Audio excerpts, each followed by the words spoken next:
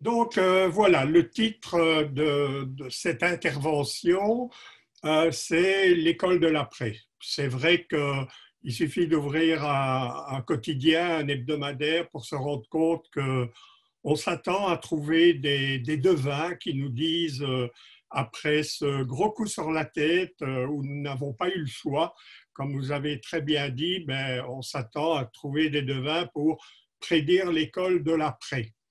Alors, notre façon de fonctionner avec les, collègues de, la mission laïque a été la suivante. Tout d'abord, mon diaporama est déjà disponible. Alors, vous verrez dans Média, il y a souvent des, adresses en bas à droite qui commencent toutes par http deux barre oblique barre oblique bit.ly barre oblique donc ça, vous le notez une fois pour toutes, http bit.ly Et ensuite, il y a un mot-clé ou quelque chose comme ça, ici euh, MLF, vous devinez pourquoi, et ML, ce sont mes initiales. Attention que dans ces mots-clés, il y a un strict respect euh, des majuscules et des minuscules. Autrement dit, si vous mettez euh, MLF en minuscule, ben, ça n'ira pas. Alors, notre façon de fonctionner a été la suivante. En fait, j'ai proposé euh, à, Michel Bure et à l'équipe de la mission laïque cinq thématiques qui me semblaient pertinentes parce que on me pose souvent les questions. Euh, ce sont des sujets d'actualité tout simplement, et ce sont ces cinq thématiques qui vont quelque part euh, scander mon propos. Alors, il y a une vision assez large, euh, la société de, de l'après euh, et son école finalement, parce que je dis toujours que la notion d'école est inscrite dans la notion de société, puisque, je pense, l'école prépare à une société donnée à un moment donné. La société, donc, la formation à distance, c'est vrai que nous avons été forcés de, de l'expérimenter. Et vous voyez que j'ai associé cette formation à distance avec l'apprentissage toute la vie durant. Cet apprentissage toute la vie durant qui va, pour les travailleurs, pour les employés, pour les fonctionnaires, ben, se passer en dehors de l'école finalement. Un peu ce que nous avons vécu euh, en ce moment de, confinement.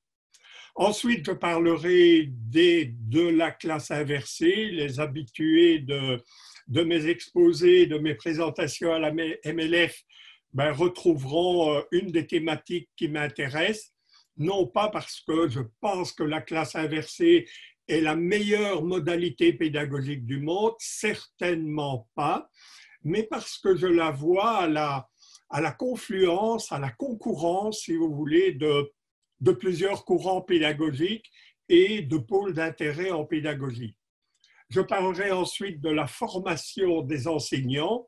Quel vilain mot, je, n'aime pas le mot formation, il me fait trop penser à formatage. Je préfère beaucoup mieux parler de, de développement professionnel, comme dans tous les métiers d'ailleurs. Et finalement, je terminerai par euh, quelques paradigmes qu'il me semble intéressant euh, d'évoquer non pas pour répondre aux questions qui m'ont été posées sur ces cinq, euh, cinq thématiques, mais pour vous donner tout simplement des éléments pour que vous puissiez vous-même vous construire vos réponses. En effet, je vous l'ai dit, je n'aime pas le mot formation parce que je pense que former dans le sens noble du terme, ce serait plutôt donner aux apprenants des occasions d'apprendre. Et c'est ce que modestement je voudrais faire ici, vous donner des éléments du, grain à moudre, si vous voulez, pour que, avec mon aide, bien sûr, je ne me débine pas, ben, vous puissiez répondre à ces questions. En effet, à propos de ces cinq thématiques, sur le forum pédagogique, vous avez été euh, invité à me poser différentes questions. Et il y en a eu beaucoup. Et les collègues de la MLF m'ont posé ces questions. Et déjà ici, euh, je réponds à quelques questions. ou à quelques perceptions du sens des questions que j'y voyais. Alors tout d'abord, je voudrais dire euh, attention à la pensée magique liée au Covid-19 ou au coronavirus.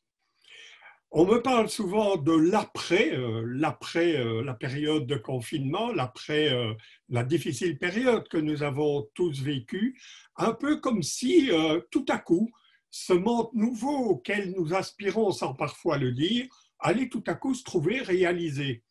C'est un peu la même pensée magique, je pense, que le numérique à l'école. Suffirait-il de mettre du numérique en tant qu'objet technique dans l'école pour que tout à coup la pédagogie change. Je ne pense pas. Penser que l'après sera automatiquement différent de l'avant est une pensée pour moi très réductrice qui, par une sorte d'inertie, pourrait conduire à un effet diligence. L'effet diligence, c'est finalement refaire la même chose qu'on faisait avant, malgré les nouveaux outils et malgré les nouvelles expériences. En effet, je vous dirais différent quoi, par rapport à quoi, mais quelles sont donc vos aspirations?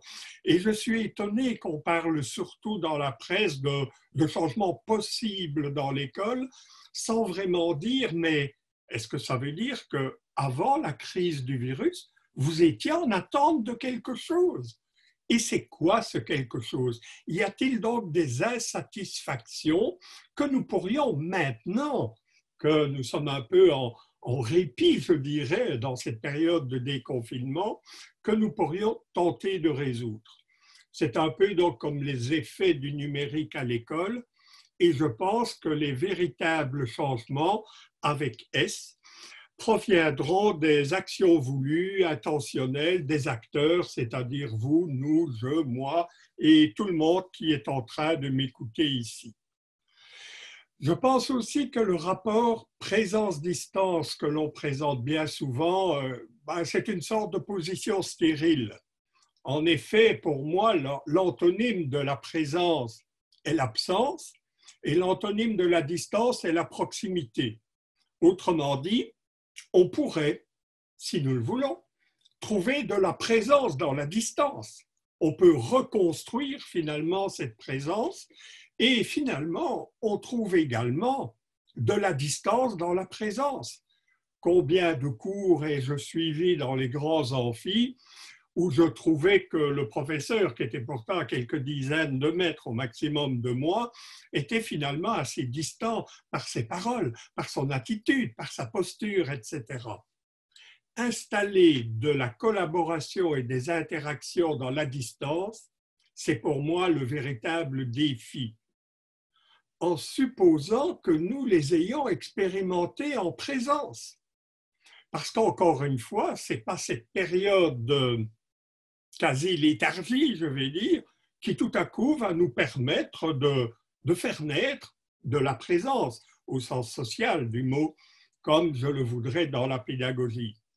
Installer de la différenciation et de l'autonomie dans la présence cette fois-ci est également un défi que nous révèlent finalement ben, les différentes interpellations qui ont filtré au travers de vos questions. Voilà pour moi quelques lignes directrices. Elles présentent un peu le cadre, le cadre bah, d'éléments de, réponse que je vais vous donner. Alors, bien avant le virus, bien avant en Europe, février, euh, mars 2020, j'avais déjà euh, fait une communication, c'était à Ludovia, Ludovia Polynésie française, où j'avais parlé du monde qui change. Et j'espère que ce que je vais vous dire maintenant n'a pas en fait été stoppé par le virus. Autrement dit, je veux vous dire qu'il y avait déjà dans la société d'avant, dans les interpellations d'avant, dans les questions d'avant le virus, il y avait quand même pas mal de questionnements, bien sûr, mais également de prémices d'une autre société et peut-être d'une autre école qui prépare cette société. Alors, euh, comme je vous l'ai dit, je ne vais pas vous donner des réponses. Je n'en ai pas, je ne suis pas un devin, mais je peux vous dire que dans ce monde d'avant, il y avait déjà des personnes comme Milad Douei, hein, euh, qui est, euh, je pense, l'université à Paris, quelque part en tout cas, qui a été promu docteur honoris causa de l'université de Louvain il n'y a pas si longtemps, qui lui nous parlait carrément d'une époque d'humanisme numérique, d'un numérique qui pourrait, rien n'est donné, qui pourrait finalement restaurer l'humain à la place centrale. D'autres nous parlaient de ce temps d'accélération que nous vivons.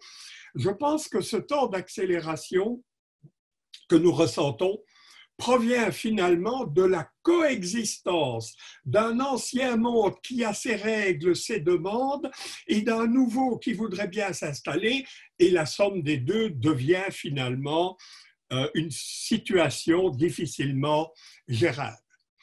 Ça a été vite finalement, cette histoire-là, et ça va de plus en plus vite. Si on regarde les supports de mémoire, comme les appelait Socrate, mais on voit que l'écriture, elle est née il y a 3-4 millénaires. Ça représente environ 200 générations humaines. L'imprimerie, 5-6 siècles, une vingtaine de générations humaines. Et le numérique, il est là depuis 2-3 décennies, peut-être une génération humaine. Alors vous vous rendez compte de cette accélération et elle était là. Hein, ces propos, je vous dis, je les ai pris d'une présentation où on n'avait pas encore vraiment entendu parler du, du virus. Ça, ça me conduit à une réflexion que je vais continuer tout à l'heure sur les nouveaux rapports au savoir. Et c'est quelque chose qui a commencé il y a longtemps. Déjà en 1996, on nous parlait du web. On ne disait pas encore web 1, on disait le web.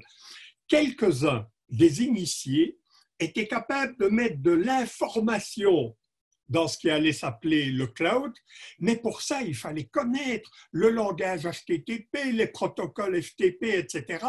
Autrement dit, quelques-uns des rédacteurs en chef pouvaient publier dans la revue qui s'inscrivait dorénavant dans les nuages à peine dix ans plus tard, le Web 1, lié aux spécialistes, devenait le Web 2, dans lequel chacun de nous, bien sûr, il faut avoir un ordinateur, mais oui, évidemment, on parle du numérique maintenant, mais où chacun de nous pouvait finalement s'exprimer, poser des questions, contredire le propos.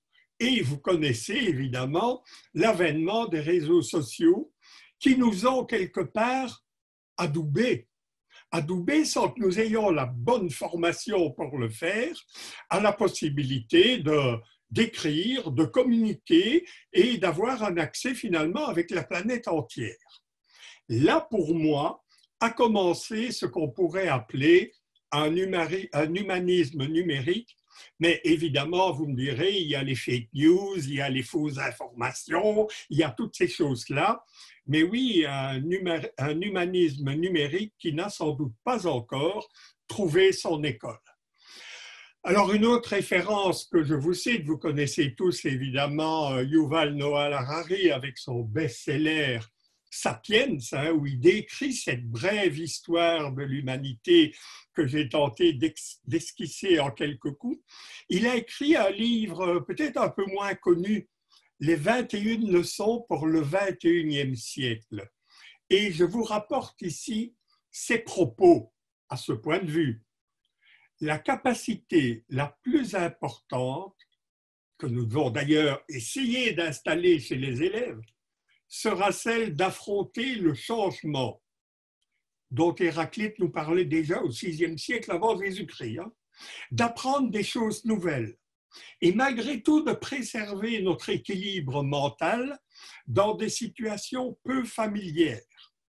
Il faudra savoir, nous dit-il, se réinventer sans cesse. Je ne vous dis pas que c'est ma réponse, je vous dis ce sont des éléments de réponse, des opportunités pour vous de vous construire éventuellement une réponse ou d'avancer dans les réponses que vous vous êtes construites. D'autres personnes nous aident à non pas prédire le futur, mais nous invitent à rendre le futur possible. Et évidemment, les formateurs ont ça entre leurs mains.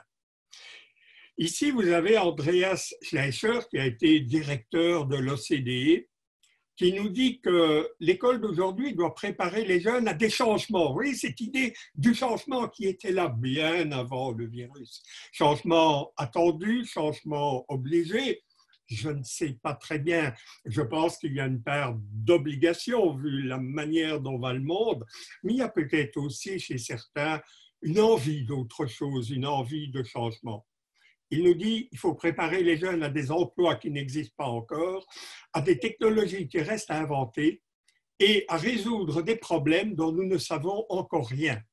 Il continue très durement, très durement, c'est pas moi, c'est lui.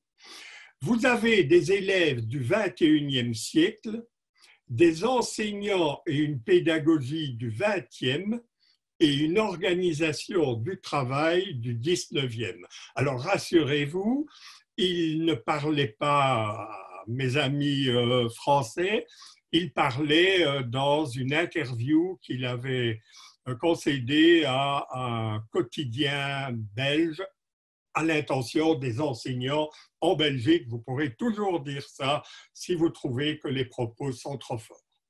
Un autre livre qui me paraît intéressant, c'est celui de, de Sir Ken Robinson, qui a écrit un livre en anglais, L'élément, traduit en français par Trouver son élément. On dit ça de quelqu'un qui finalement a réussi. Il peut être euh, danseur, euh, animateur de foire, euh, artiste, ingénieur, expert en automobile. On dira qu'il a trouvé son élément. Et il nous dit également que l'enseignement actuel est fondé sur une vision étroite des capacités intellectuelles qui induit des programmes limités des méthodes pédagogiques standardisées, des systèmes d'évaluation impersonnels déterminés par les résultats bruts et les notes. Voilà des éléments qui nous agitaient déjà, ne l'oublions pas, avant que le virus ne survienne. Alors la pédagogie, ben, la pédagogie, c'est une longue histoire. C'est une longue histoire. Nous connaissons sans doute euh, Michel de Montaigne, hein, qui nous parlait déjà il y a des siècles d'ici, non pas de têtes bien pleines, mais de têtes bien faites. Attention, mesdames, messieurs, j'ai vu souvent cette citation utilisée pour les compétences des élèves. Non, non, lisez le texte dans les essais de Montaigne. Michel de Montaigne parlait ici des enseignants. Quelles sont donc les bonnes qualités d'un enseignant? Eh bien, qu'il ait une tête bien pleine, bien sûr, mais également une tête bien faite. Et voilà comment cet enseignant pourra peut-être conduire ses élèves à cet objectif.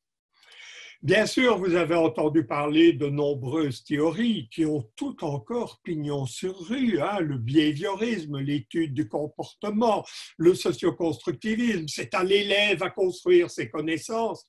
À l'heure actuelle, et je ne sais si c'est déjà enseigné dans les sciences de l'éducation, on nous parle du connectivisme. Le connectivisme de George Siemens. Alors ici, pour vous montrer mon éclectisme, j'ai été chercher un peu sur la Wikipédia, malgré tout. Euh, George Siemens et Stephen Downes qui nous disent que les liens qui nous permettent d'apprendre sont plus importants que l'état actuel de notre connaissance. Autrement dit, et je paraphrase, les savoirs et les savoir-faire, ils sont là, ils sont importants, mais ils vont être complétés probablement par des savoirs où et quand. Savoir où trouver l'information par rapport au problème qui me préoccupe, savoir quand j'ai besoin de chercher une information si elle existe. La capacité d'établir des distinctions entre l'information importante et sans importance est vitale. Cette idée du connectivisme, je n'ai guère le temps de m'y approfondir, mais vous avez vu qu'il y a un petit lien là, GS majuscule-connectivisme, qui vous initiera aux visions, si vous voulez, de George Siemens, déjà de 2005, n'est-ce pas? Et qui nous dit que les apprenants que nous formons ben, vont rencontrer toutes sortes de connaissances au cours de leur carrière, des connaissances qu'ils n'auront pas vues à l'école, n'est-ce pas? L'importance de l'apprentissage informel, l'apprentissage qui devient un processus continu tout au long de la vie. Nos arrière-grands-parents, nos grands-parents peut-être, se contentaient finalement de ce qu'on leur avait appris à l'école pour faire une carrière. Par exemple, un ingénieur ben, utilisait pendant 40, 50 ans ce qu'il avait appris sur les bancs de l'école. À l'heure actuelle, ce turnover, si vous voulez, dans les connaissances est devenu beaucoup plus rapide. Notre câblage cérébral qui est en train de se modifier avec les afflux d'informations qui nous parviennent, euh, le rôle des TIC, hein, des technologies de l'information et de la communication, est justement ce que je vous disais, l'importance de ces savoirs où et quand. Alors, une des propositions que j'avais faites de cette nouvelle école, et je ne vais pas refaire, vous trouverez des vidéos, euh, des textes, vous avez ici les flips hein, en référence, j'avais fait cette proposition, enfin, c'est pas moi qui l'ai faite, c'est une idée qui nous vient des anglo-saxons, de professeurs de chimie dans l'enseignement secondaire. Ici, nous sommes dans du bottom-up finalement. Ce n'est pas euh, les sciences de l'éducation, un pouvoir politique, etc., qui a promu la classe inversée. Non, ce sont des enseignants qui ont osé expérimenter la classe inversée et qui ont partagé leurs idées. Alors je vous résume très vite parce que nous en aurons besoin pour la suite. Cette proposition, j'avais faite et détaillée lors des congrès précédents, vous savez, il y a la présence et la distance. La distance, on imagine toujours, euh, c'est à 10 km, à 50 km, à l'autre bout du monde. Je ne pense pas. Je vous ai dit qu'elle était simplement l'antagonyme de la proximité. La distance, pour moi, ça pourrait être la distance à l'école. Le fait que l'enseignant ne soit pas là.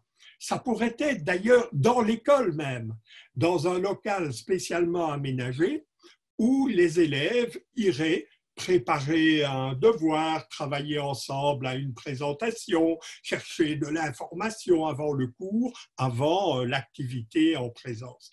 Donc la distance, c'est autre chose que cet enseignement très lointain à distance. Ça pourrait être simplement dans la classe à côté où les élèves travaillent en autonomie et c'est une proposition forte pour euh, ben, le déconfinement, où, en tout cas chez nous, les enseignants vont devoir rencontrer de plus petits groupes d'élèves pendant que d'autres vont travailler, etc.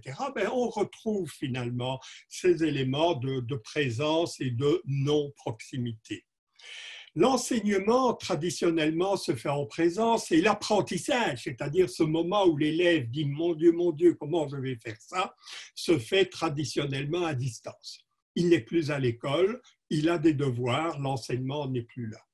Le propos de la classe inversée, ben, c'est d'un peu changer tout ça. Je n'ai jamais dit que c'était basculer intégralement tous les cours à distance. Non, une partie des enseignements, quelques capsules vidéo que l'élève pourrait travailler seul ou en groupe, à la maison, mais aussi dans un local spécialement aménagé, pourrait se faire, si c'est juste, de la transmission pourrait se faire dans cette distance-là. Et ça, ça nous permet de faire des choses plus intéressantes en présence, en particulier développer, utiliser des compétences comme la recherche d'informations, la communication, le travail d'équipe, euh, les applications, les projets, les problèmes, la collaboration, que sais-je. Il fallait trouver du temps en présence. Il fallait redonner du sens à la présence. Si la présence, c'est finalement recevoir des vidéos comme celles qu'on avait avec un professeur qui dit son texte et dit son texte, et finalement il n'a plus le temps pour les activités, elles seront faites à la maison, ben peut-être que cette proposition-là pourrait nous aider dans la réflexion. Alors ça, c'est ma première partie vous dire qu'il y avait déjà pas mal de réflexions qui étaient amorcées et j'espère que, à cause du virus, nous n'allons pas retomber dans les ornière de l'innovation, dans notre inextie, où nous serons tellement contents de tout refaire comme avant. La formation à distance, la formation hors l'école, si vous voulez, l'apprentissage tout au long de la vie, tout au long de la vie professionnelle, mais j'aurais pu écrire tout au long de la vie quotidienne. Mon constat finalement, après euh, cette époque difficile, difficile, qui nous a demandé beaucoup d'efforts, c'est vrai, à chacun, je constate quand même que l'apprentissage de la technique n'a pas été une difficulté insurmontable pour bon nombre d'enseignants, de travailleurs, de gens. J'ai envie de dire de gens parce que je vois autour de moi des personnes qui ont inventé des parties de jeu en utilisant ben, des outils comme celui que nous utilisons maintenant, euh, Zoom et les autres, euh, ont trouvé des moyens de se revoir, d'échanger et de mettre finalement dans cette distance forcée un peu de présence grâce aux outils technologiques. Le numérique à l'école, je vous l'ai dit, une vaine question notre société est déjà, je vous ai donné des pistes pour ça, devenue numérique et l'école y prépare ou devrait y préparer. Il nous faudra encore oser expérimenter les modalités de ces interactions à distance. Je ne sais ce qui s'est passé chez les collègues de la mission laïque française, mais dans beaucoup d'enseignements, les enseignants et les élèves me rapportent qu'ils ont eu des vidéos, euh, soit des vidéos que le prof avait fait, soit euh, de temps en temps un peu de, synchrone, euh, avez-vous des questions, ou alors avait reçu par mail des photocopies avec des exercices?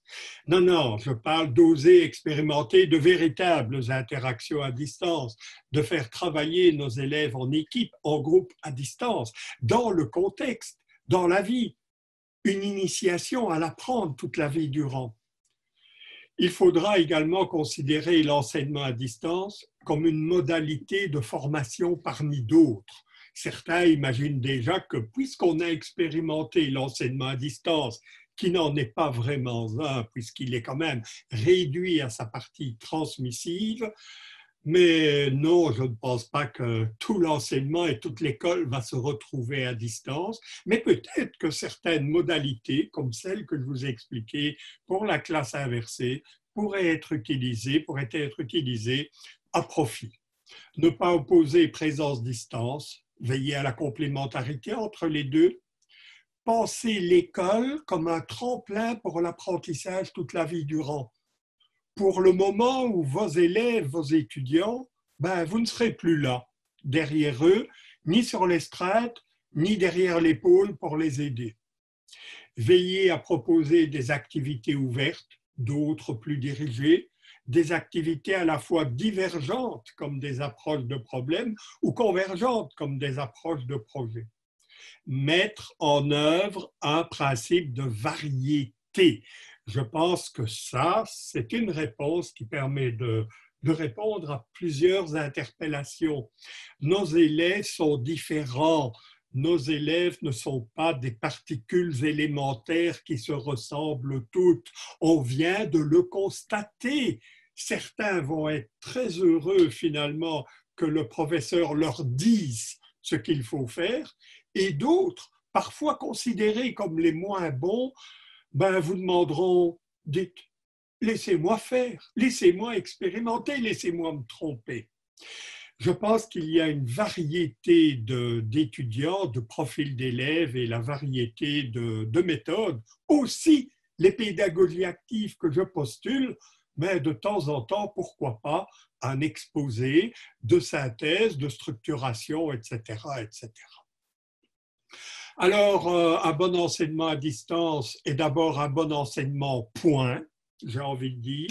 Il n'y a pas de principe dans l'enseignement à distance qui ne soit déjà un principe de l'enseignement tout court. Les recherches, et vous voyez ici, je vais chercher des recherches déjà anciennes, montrent que les effets des nouvelles méthodes, de l'utilisation des technologies ben, ça fonctionne bien, ça fonctionne mieux quand la pédagogie est sound, de bonne qualité. Et autrement, c'est qu'on rencontre parfois, c'est des pédagogies accidentelles. On a mis en place telle chose, ça a bien marché, et l'année suivante ou dans une autre classe, la même méthode ne fonctionne pas. Encore une fois, avec les humains, c'est une approche de la complexité que nous devons étudier et mettre en place. C'est quelque chose que je répète depuis euh, pas mal de temps, que la, technologie et le numérique s'assortit bien de changements dans la pédagogie, comme par exemple des plus petits groupes. Au lieu d'avoir des lectures, des leçons, on est plutôt dans l'accompagnement, on s'adresse à davantage d'étudiants, on arrive à un meilleur engagement, les tests et les examens sont remplacés par des productions, des mesures du progrès, les structures compétitives deviennent davantage collaboratives, au lieu d'enseigner tous, à tous la même chose, on va vous parler de différenciation. Et c'est dans ces créneaux-là que le numérique peut s'avérer utile. Alors, il y a eu beaucoup de théories. Euh, j'ai vu des interventions à la MLF où on reprend finalement ces méthodes actives, voire des méthodes beaucoup plus traditionnelles qui touchent presque à l'enseignement explicite. Certains me disent, euh, moi j'ai essayé les méthodes actives, mais ça ne marche pas. Avez-vous donné des consignes claires aux étudiants? Avez-vous explicité aux étudiants, aux apprenants, aux élèves, pourquoi vous utilisez telle méthode à tel moment? Avez-vous, au-delà des fruits de la méthode, la solution à un exercice, discuté avec eux de la manière dont le travail de groupe s'est déroulé? Vous savez, sur ces méthodes qui s'appellent le projet, la résolution de problèmes, l'apprentissage en groupe, sur ces méthodes, sur ces compétences, il y a des savoirs. Il y a des savoirs sur les compétences. Il y a des savoirs sur comment chercher l'information. Il y a des savoirs sur comment valider. Et je pense qu'on applique les méthodes actives un peu comme on applique euh, l'enseignement traditionnel. C'est une sorte de, de données ficelées quelque part et on oublie finalement tous ces éléments de rappel des préalables, de signifier quelque part la performance, des rétroactions, de l'évaluation, etc., etc. Alors au niveau de la motivation, il y avait pas mal de questions qui parlaient de ça. Oui, mais mes élèves ne sont quand même pas motivés. Ben, ils ne sont pas tellement motivés par l'école. C'est vraiment quelque chose qui est là depuis euh, des dizaines d'années. Et pourtant, je reprends ici euh, un livre de Roland Villot qui parle de l'école ici, il parle vraiment des élèves. Il ne parle pas de, théorie qu'il a inventée, mais il parle d'expérience qu'il a faite sur ces méthodes qui fonctionnent du côté apprenant ou qui ne fonctionnent pas. Et il a trouvé trois éléments, trois ingrédients, si vous voulez, de cette motivation qui expliquent ben, l'engagement des élèves, leur persévérance et évidemment les apprentissages. Le premier, la valeur de la tâche, le sens, l'utilité. Combien de fois ai-je demandé à mes enseignants, mais monsieur ou madame, à quoi ça sert finalement ça? Tu verras plus tard. Je pense que ce temps est terminé, mesdames, messieurs. Je pense que nos élèves ont besoin de savoir.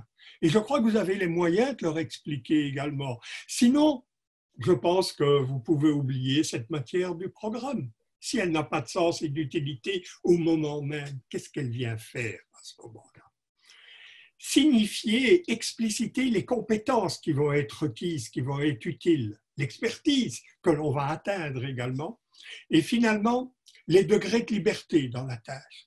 Est-ce que tout est décidé comme une sorte d'enseignement programmé ou alors est-ce qu'il y a, bien sûr, une guidance, bien sûr, il y a des balises, des critères, etc., mais il y a également des paires de degrés de liberté et d'autonomie.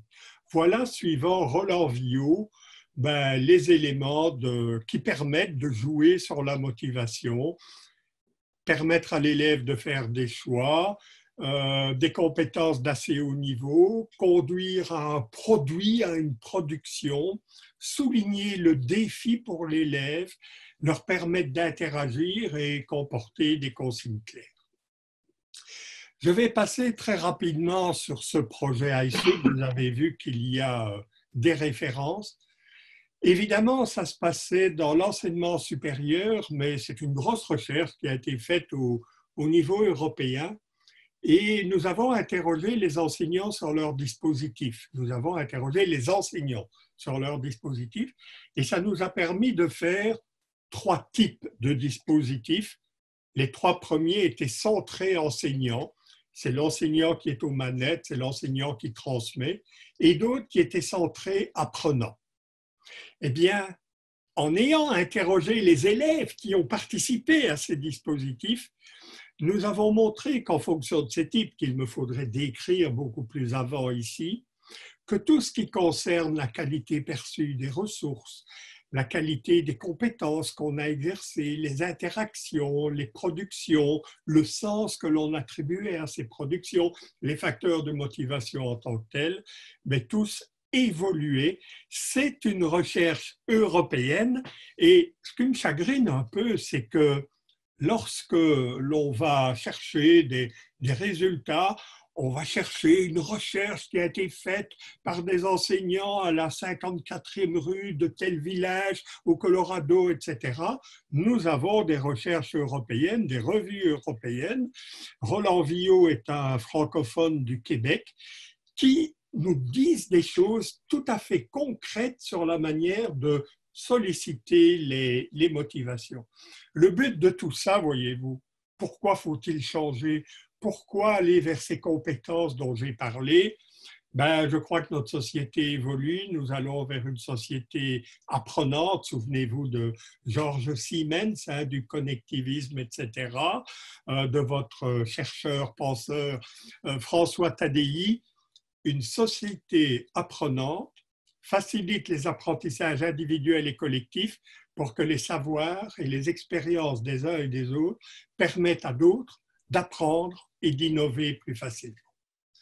Voilà pour mon deuxième point. Le troisième ira nettement plus vite. Alors, les classes inversées, euh, évidemment, les classes inversées, cette fois-ci, je pense qu'il s'agit d'une configuration. Hein, Ce n'est pas une méthode pédagogique, je vous l'ai dit, elle est à la confluence, à la congruence de plusieurs méthodes, mais peut-être que c'est quelque chose d'intéressant à envisager dans ce déconfinement progressif dans certains pays, un peu plus rapide dans l'autre. Alors, les classes inversées, ce sont des dispositifs hybrides, ça vous le savez bien. La distance ne signifie pas nécessairement à la maison. C'est une stratégie où interviennent plusieurs méthodes, dont la méthode magistrale.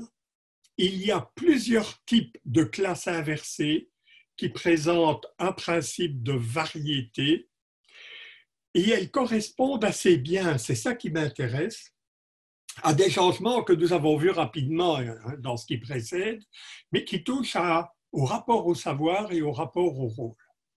Alors, je vais essayer de vous l'expliquer ici de, façon très, très rapide. Les rapports au savoir, je vois une sorte de progression. Hein. Les rapports transmis en classe par le professeur, bah, il a un rôle pour ça des savoirs qui sont externalisés, par exemple via une vidéo qui présente un concept, un principe, un auteur, que sais-je, et encore plus loin, des savoirs qui sont récoltés par les étudiants eux-mêmes. Au niveau des rôles, ben, ils sont un peu concomitants. L'enseignant donne son cours tout en bas. Les, les étudiants participent aux échanges, aux applications, à la résolution de problèmes, à la co-construction des connaissances. Et finalement, tout en haut, les étudiants construisent le dispositif de leur cours. Autrement dit, ce sont les étudiants qui, par rapport aux ressources qu'ils ont été chercher dans les contextes, reviennent en classe pour présenter aux autres élèves ou réaliser une vidéo de présentation ou un PowerPoint commenté, que sais-je, euh, de ce qu'ils ont trouvé dans les contextes ou à la bibliothèque, etc. Le type 1 des classes inversées, ben, les savoirs sont externalisés, les élèves font des applications en classe. C'est ce que je vous ai expliqué là tout à l'heure sur la classe inversée. Le type 2 des classes inversées, ben, les élèves vont récolter des savoirs et ensuite ils les présentent à leurs condisciples. Ça, ce sont deux types d'articulation, si vous voulez, de rapport au savoir et rapport au rôle. En effet, dans le type 2, c'est quelque part les étudiants eux-mêmes qui font la leçon ou qui créent la ressource.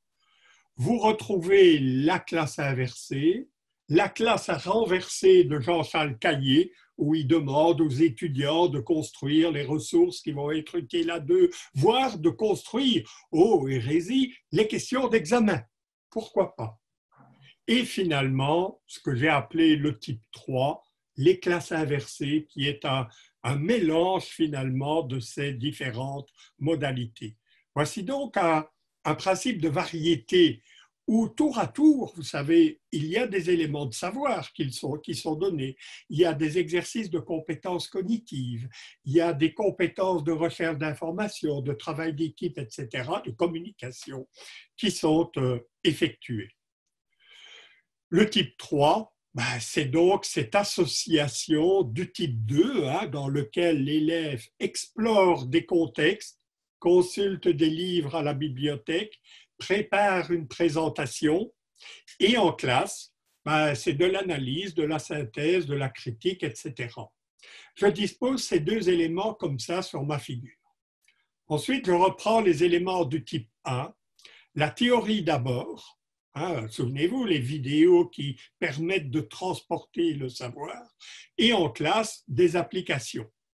Ben, vous voyez que si on met ces quatre événements d'apprentissage, qui sont toutes des activités où l'élève peut apprendre, des opportunités d'apprendre, explorer les ressources, entendre des leçons, prendre connaissance de la matière, faire des applications, exercer son esprit critique, si on les organise d'une certaine façon, mais on en arrive à finalement explorer un large principe de variété. Je termine mon propos sur les classes inversées en vous rappelant cette bonne vieille taxonomie de Benjamin Bloom, hein, la taxonomie de Bloom, qui nous disait, pour apprendre, il faut d'abord mémoriser, ensuite comprendre, ensuite appliquer, ensuite analyser, évaluer et finalement, plus tard, tu verras, créer. L'école est finalement construite sur ce modèle-là.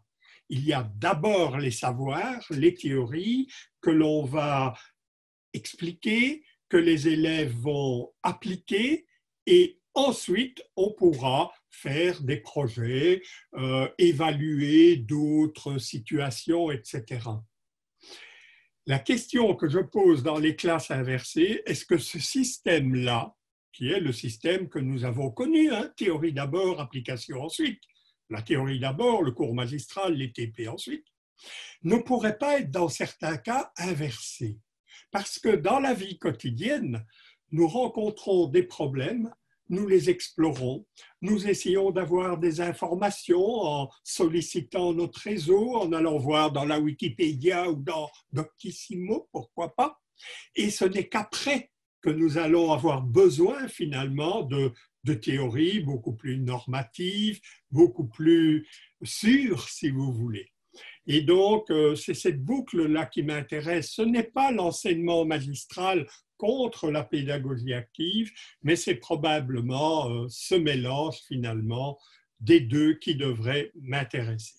Alors, je vais passer tout de suite à la thématique 4 sur la nécessaire, j'ai dit que jamais pas trop le mot, mais on l'utilise, vous m'avez compris, formation des enseignants, leur développement professionnel. Alors, quelques réflexions tout d'abord. Je souhaiterais que l'on forme les enseignants comme on voudrait qu'ils forment leurs élèves et leurs étudiants. Alors vous allez me dire, c'est peut-être facile, c'est peut-être une lapalissade, mais quand je vois parfois dans certains pays, pas toujours, mais que l'on forme les étudiants, pardon, les, futurs enseignants aux méthodes actives en leur faisant des conférences sur les méthodes actives, je m'interroge un tout petit peu sur cette euh, cohérent sur cette isomorphie entre les deux formations. Bien sûr, ma réflexion porte donc sur la formation initiale et bien sûr aussi pour les enseignants, se former toute la vie durant, participer à des communautés d'apprentissage. J'ai introduit un peu le concept. C'est d'actualité, c'est un chantier pour les enseignants. Alors, ben, j'ai retrouvé ben, tout cela dans le forum pédagogique, hein, ces opportunités d'apprendre. Hein, vous l'écrivez, générateur d'opportunités, euh, se former à son rythme, rencontrer d'autres enseignants, entrer en contact avec des chercheurs, l'opportunité de partager ses pratiques en devenant soi-même formateur. Vous voyez que le type 2, finalement, pour les enseignants, où l'enseignant explique ses pratiques à d'autres, explique son concept à d'autres, leur fait devenir meilleurs enseignants en partageant ses pratiques et en les soumettant à la critique, me paraît fort intéressant. Alors, vous savez que le mot enseigner, ben, il est polysémique, hein, c'est à la fois transmettre, gérer des interactions, etc. Ce que j'ai constaté, et là je vous fais une synthèse, hein, un gros résumé, c'est que on constate que les enseignants, les nouveaux, hein, commencent souvent par une période contenue. Le cours que je vais donner la semaine prochaine, ben oui, c'est important.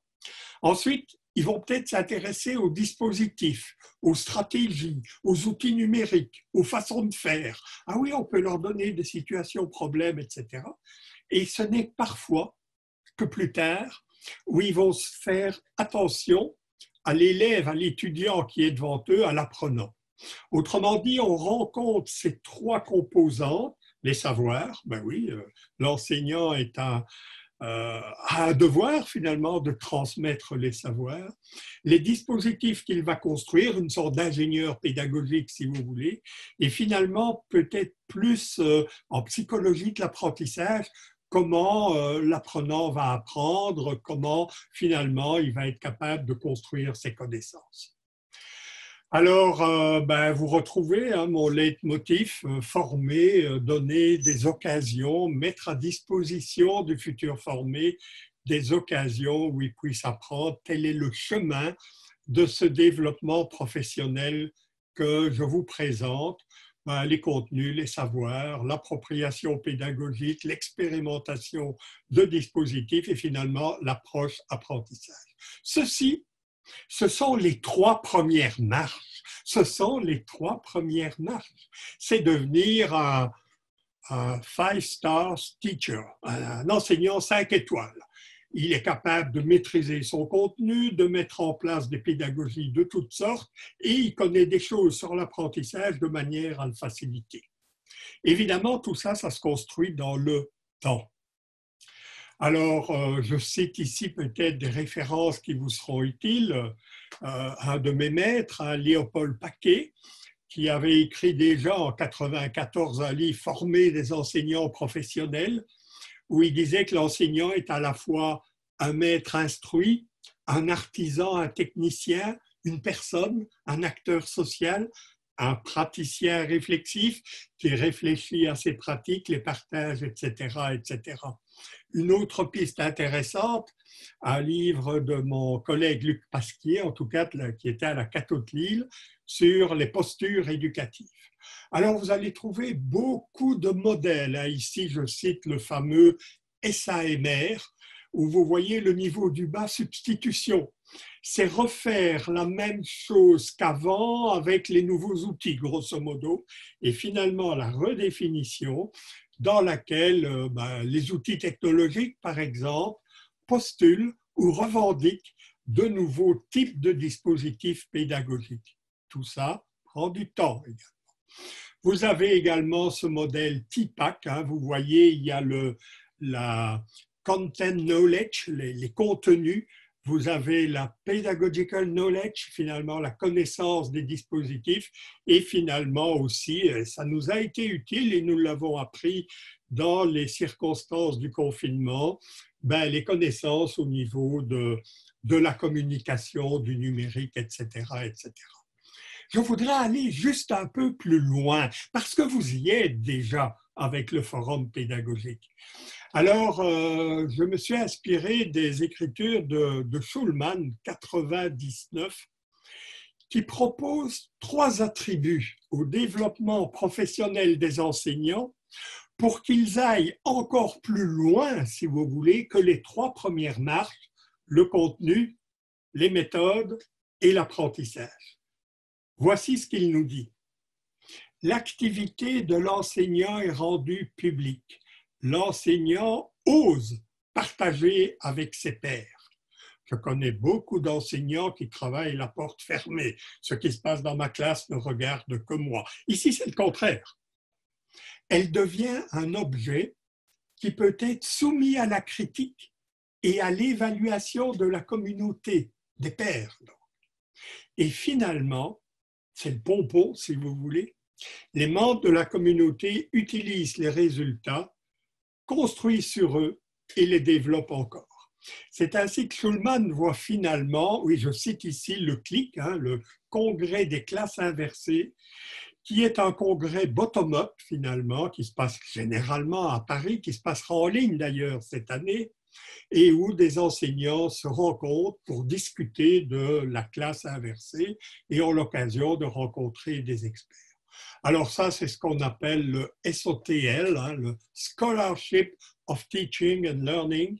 Ça veut dire en gros être capable de faire de son enseignement progressivement avec le temps un véritable objet de recherche qui peut être communiqué, partagé avec les pairs et sur lesquels les pairs vont eux-mêmes construire. Alors, je passe ici ce point, c'est encore une autre approche sur euh, ben, l'innovation, comment est-ce qu'elle s'installe. J'ai tout de suite vu dans les théories de l'innovation que finalement, l'innovation en tant que telle représentait une sorte d'apprentissage à échelle sociale. L'innovation nécessite d'avoir une vision personnelle forte, avoir des idées là-dessus, mais des idées qui sont partagées, qui répondent à des besoins actuels, qui va nécessiter des, des compétences, en particulier de collaborer dans l'action, la nécessité de structures intermédiaires qui permettent ces échanges, comme euh, le CLIC pour la classe inversée ou le forum pédagogique de la MLF, et finalement tout ça malgré les freins, malgré les contraintes, et l'importance de laisser aux enseignants des espaces de liberté où ils puissent expérimenter. Dans ma lancée, je vais terminer avec le quatrième point. Alors, euh, l'incertitude, la systémique. Vous avez entendu Edgar Morin, je ne peux reprendre évidemment ces idées-là qui m'ont également beaucoup inspiré. Vous avez vu comment j'ai représenté ce yin et ce yang pour vous dire que la présence était dans la distance et que de la distance peut se trouver dans la présence, que les savoirs et les compétences, ce pas deux objets différents. La définition de compétences inclut des savoirs. Les savoirs dans leur construction demandent des compétences. Et donc finalement, cette systémique qui est inscrite d'ailleurs dans le concept des classes inversées, est quelque chose qui me stimule intellectuellement beaucoup. Les compétences transversales, donc, savoir et compétences ne sont pas exclusifs, ils se complètent pour construire des têtes bien faites. Et je pense euh, ainsi, avec beaucoup d'autres, que nous vivons une sorte de, de nouvelle renaissance. La première renaissance a déifier quelque part les savoirs qui nous ont permis, qui ont permis à l'humanité de faire des progrès significatifs, peut-être que la nouvelle Renaissance va, tout en reconnaissant cette importance des savoirs, hein, les choses ne se bousculent pas, ne s'oublient pas, elles se construisent également l'une au-dessus de l'autre, qui va nous permettre finalement de remettre la présence, l'humain, au centre de nos réflexions. Alors, euh, ben, les citations des auteurs qui me paraissent intéressantes, une belle vidéo où Michel Serres et Bernard Stiegler discutent finalement des technologies à l'école, de la société numérique, de l'école pour cette société. Bernard Stiegler nous disant, vous savez, il y a des problèmes avec les réseaux sociaux, mais ce n'est pas la technologie qui est toxique. Les problèmes qui surviennent proviennent de notre euh, incompétence à utiliser correctement ces outils, à notre difficulté de socialiser quelque part les réseaux sociaux. Michel Serres continue sur la citation de Montaigne en disant que ben, avec nos outils technologiques, on n'a pas la tête vide. La mémoire n'est pas simplement externalisée, mais au niveau de nos neurones, quelque part, ces supports de mémoire nous permettent aussi de libérer de la place pour faire d'autres choses, comme ça a toujours été dans les outils avec l'humanité, on a créé des outils qui nous permettaient d'aller plus loin et de faire d'autres choses. Ainsi va le, numérique. Alors, je montre euh, souvent cette figure euh, où vous retrouvez hein, les compétences dont j'ai parlé, euh, la pensée critique, la créativité, la responsabilité sociale, la communication, l'alphabétisation numérique, l'apprentissage toute la vie durant. Et un jour, quelqu'un m'a demandé, mais où sont les savoirs là-dedans? Vous allez rendre des élèves compétents, mais ils n'auront plus de savoir. Attendez, dans cette figure qui présente les fameuses compétences du 21e siècle, les savoirs, ils sont dans l'anneau blanc là. Ils sont externalisés, ils sont à l'extérieur. Et ça, pour moi, c'est un objet de réflexion. Il y a, ne fût-ce que 40, 50 ans d'ici, les savoirs étaient au centre, le programme était au centre, et les compétences étaient une sorte euh, d'éléments périphériques, d'éléments incidents, de side product, de produits secondaires. À l'heure actuelle, je pense qu'une des grosses inversions, c'est que ces compétences sont remises au centre, entendez approche programme, approche compétences, etc et les savoirs se retrouvent donc en périphérie. C'est une place noble, ils sont accessibles, ils sont dorénavant accessibles. Alors je terminerai par, euh, vous savez que je n'ai pas toujours été dans ma vie pédagogue, j'ai d'abord été euh, physicien, physicien nucléaire, et j'ai vu finalement dans nos raisonnements, dans l'histoire des sciences, pas mal de pistes intéressantes. Vous savez, la science exacte telle qu'on se la représente, hein, on voit bien avec les discussions des experts à la télévision avec le coronavirus, on voudrait qu'ils aient des réponses précises à tout. La science doit être précise. Le déterminisme laplacien, vous me donnez une cause, il y aura donc un effet. Et on enseigne encore pour une large part, et c'est heureux, Bien sûr que ça marche également le déterminisme, peut-être mieux pour les objets inertes que pour les objets humains, mais cette idée-là, ben, elle est toujours là, mais n'y en a-t-il pas d'autres dans la démarche scientifique? Vous voyez les dates de M. Laplace, hein, on est euh, allé fin du 18e, tout début du 19e. Nous passons un peu plus tard fin du 19e, début du 20e. Et vous avez M. Poincaré. Et M. Poincaré dit à la place minute papillon. Avec tes causes et tes effets, tu peux travailler sur les planètes, euh, sur l'inerte, sur l'électricité, sur toutes ces choses qui sont magnifiques, bien sûr. Mais tu sais, une petite incertitude, incertitude sur la cause va peut-être produire des grands effets. Et vous connaissez l'effet papillon, hein vous le connaissez. Même le chanteur Benabar, pour ceux qui connaissent, connaissent l'effet papillon. Alors, euh, ça veut donc dire que dans notre monde, tout n'est pas aussi certain que cela, qu'il y a des phénomènes où on doit recourir aux probabilités, la courbe de Gauss dans les notes des étudiants ou des choses comme ça on peut encore aller plus loin. Il y a Prigogine, et cette fois-ci, on est euh, ben, dans le XXe siècle. Et il nous dit que n'ayez pas trop peur avec l'effet papillon qui évoque le désordre, on ne sait plus prédire. Parce qu'il dit, même les phénomènes les plus désordonnés, turbulents, pensez à une classe quelque part, eh bien, dans certains cas, sous certaines circonstances, l'ordre peut y être établi. il y a des structures d'ordre qui mangent l'entropie finalement et qui nous permettent de retrouver des, semblants, peut-être plus de théories et de principes.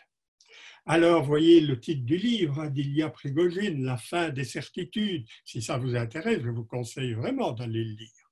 Alors, ces trois éléments, ben, je les mets en parallèle un peu avec la pédagogie, hein. le behaviorisme. Comment est-ce qu'on va influer sur le comportement des élèves pour qu'ils apprennent, pour qu'ils comprennent, pour qu'ils soient capables d'appliquer. Et ça reste important, n'est-ce pas? Mais l'effet papillon, ce sont nos apprenants. Ils sont différents. Une même cause va conduire à des effets différents dans une classe, dans une autre, chez un élève, chez un autre. Et là, on est dans l'incertain quelque part. On est dans le socio-constructivisme, comment on apprend finalement en travaillant avec les autres, en, confrontant ses certitudes à celles des autres. Et finalement, ben, le connectivisme, hein, ce monde qui nous paraît un peu désordonné, bien compliqué, mais dans lequel la solution, ben, c'est l'énergie finalement, la négantropie que nous allons amener en créant, en modélisant, en validant, en échangeant avec d'autres, en confrontant nos idées, en gérant finalement le désordre. Alors, je termine vraiment par ceci. C'est que, évidemment, au niveau de la pensée philosophique, cette opposition finalement. Dès qu'on parle d'une opposition, moi j'essaie toujours de pouvoir les mettre ensemble et c'est toujours un mélange fertile. Pourtant, en philosophie, vous savez qu'il y a deux mondes qui s'opposent ou qui s'opposaient parce que à l'heure actuelle, eux aussi ont pu faire un tout petit peu leur taoïsme c'est d'une part le monde des idées, le monde des concepts, le monde des théories. Ben, vous connaissez Platon et Descartes. Ah, est-ce qu'ils n'ont pas fait finalement trop de bêtises, ces deux-là, en oubliant derrière les calculs, le déterminisme, toute la richesse qu'il y avait dans l'humain? Mais d'autre part, il y a aussi le monde de l'expérience, le monde des faits, de la réalité concrète, des percepts, hein, des perceptions, de l'expérience, qui nous paraît parfois très désordonnée, pour lequel on voudrait modéliser un peu d'ordre. Mais finalement, nous avons les réponses. Le behaviorisme, comment va-t-on conduire nos élèves, comment va-t-on conduire les enseignants à modéliser leurs pratiques, à théoriser, à échanger? Souvenez-vous de l'approche de, Schulman, hein, l'approche de recherche finalement en pédagogie. Et d'autre part, ben, ce, pardon, ce constructivisme euh, des idées à, construire pour essayer quand même dans ce monde obscur de retrouver des, des boussoles, des jalons, des directions. Alors, c'est peut-être ça le sens que j'ai donné à cette nouvelle renaissance que j'espère adviendra, où la présence sera remise au centre, où on redonnera du sens à la présence. Je pense que c'est ça le challenge de l'après-confinement. Voilà, merci pour votre attention. S'il y a quelques questions à me renvoyer, ce sera avec plaisir que nous pourrons échanger